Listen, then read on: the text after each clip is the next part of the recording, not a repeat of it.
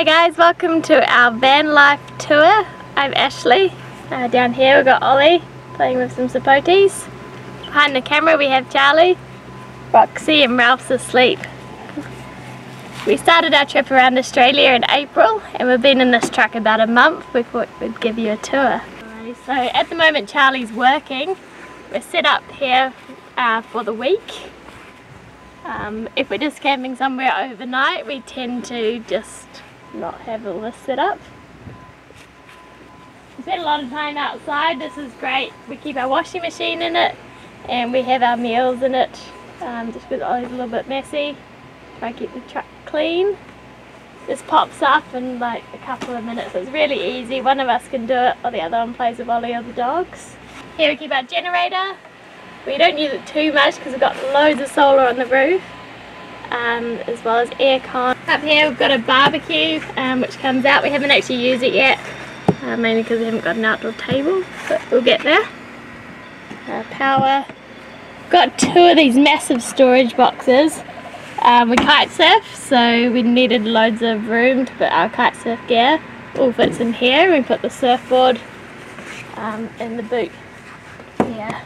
Extra fuel cans. We've got um, a big fuel tank on the bottom and then a spare as well, um, just for when we're going off-road.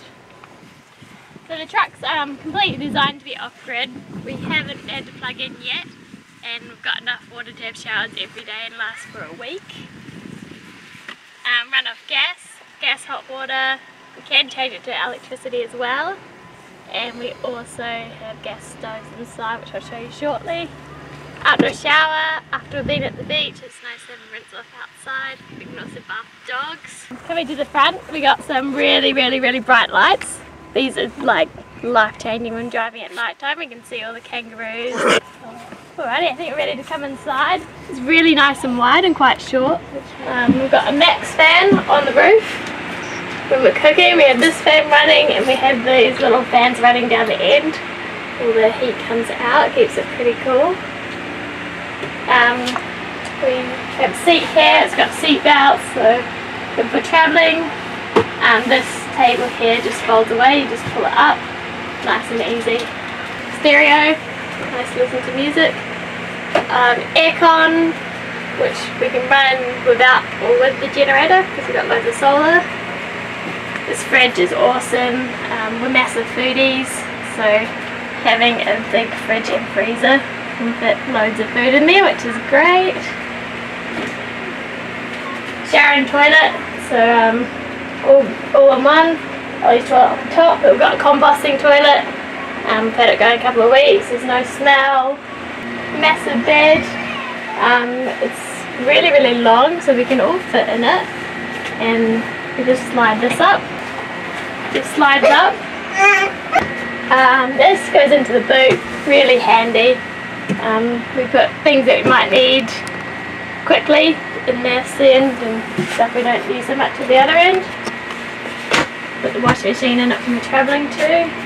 Two burner hob. Um, nice forks, keep all our food. Really important. Vitamix in here.